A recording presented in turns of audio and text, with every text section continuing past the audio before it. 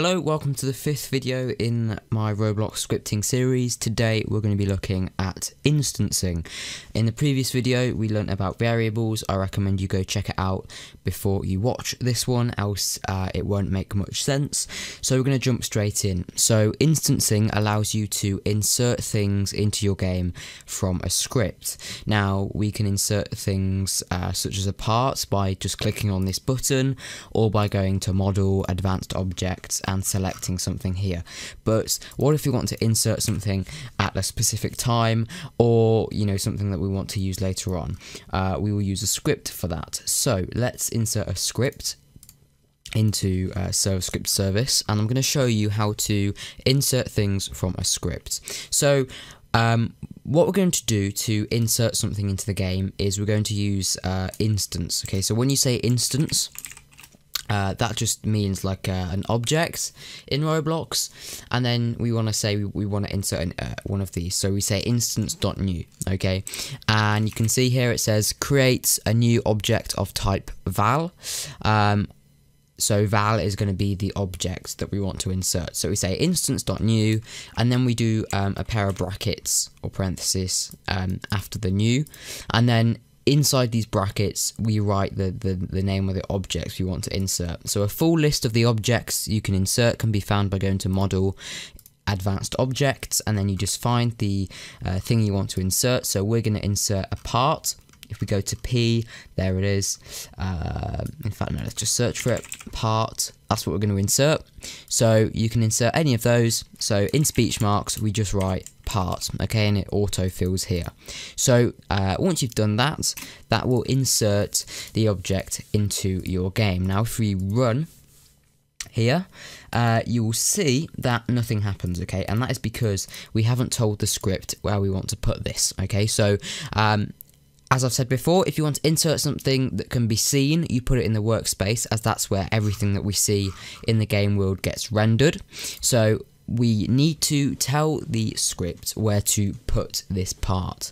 So there are two ways to do this. Um, the first way is to just put a comma after the, the name of the thing you want to insert and then you write the path of where you want to put it. Okay, so if I want to put it in workspace, I can just say comma game.workspace and if we run the game, uh, this is going to insert the part in the workspace. There it is. Uh, yeah, there we go, it got inserted. So, um, we've told the script what we want to insert and where it's going to be placed uh, in the workspace. But we can't actually give it any more information right now. The only things we can tell it is uh, it, what, what it's going to be and where it's going to go.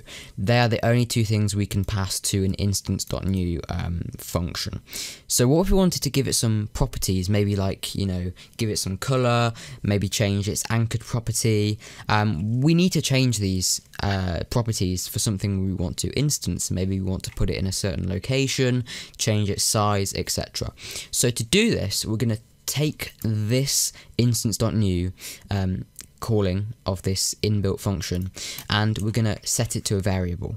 So let's just say local and we're going to give our variable a name so we can call it my part. You can call it whatever you want and we're going to make it equal to this instance.new because when we call instance.new here, what it's actually doing is it's creating this part and then basically it's returning the part that was created to this variable. So my the, the variable my part is now equal to the part which we just inserted. Now now that we've in now that we've made it a variable, we can um, change the properties of this part. So think of my part as just being the part that we just inserted. We can now change all of the properties that a part has. So we could say, for example, change its transparency, and we could set that to 0.5. And we could say my part anchored equals true. Okay. We could even set its position. So I'm not sure if we've covered um, positioning things yet with Vector 3, but you can set its position like this and you can put it in a certain place. So we could say 555 and that will um, put it in, in that location. So now if we run the game again, uh, and we wait for it to load, uh, the part should be created, but it should have these properties assigned to it uh, as well.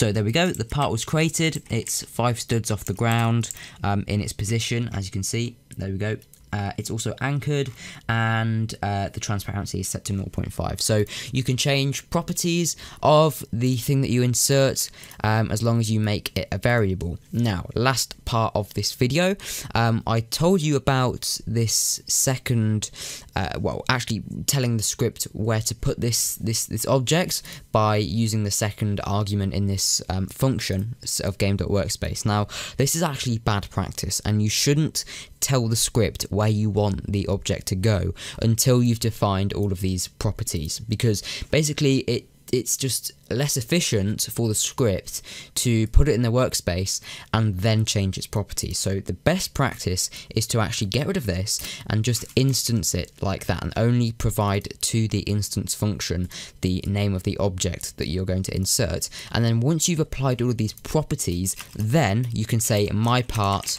dot parent equals game.workspace.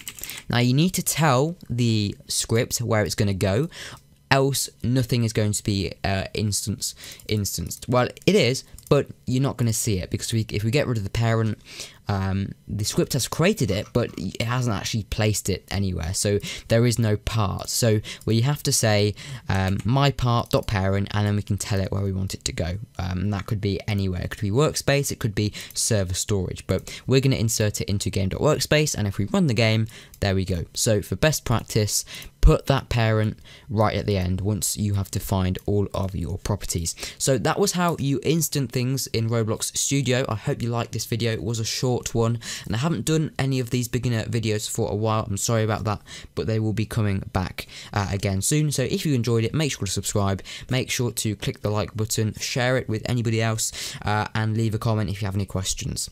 Thanks for watching, and I'll see you in the next one.